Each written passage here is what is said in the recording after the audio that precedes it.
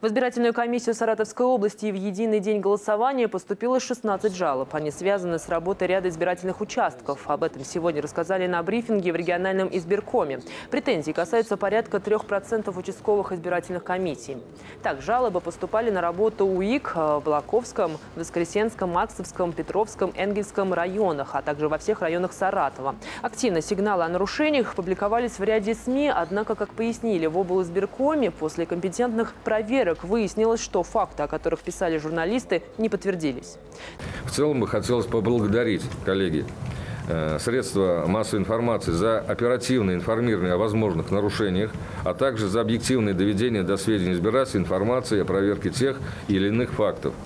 Все жалобы, поступившие в избирательную комиссию области, были рассмотрены. По итогам будут сделаны выводы в отношении избирательных комиссий различного уровня.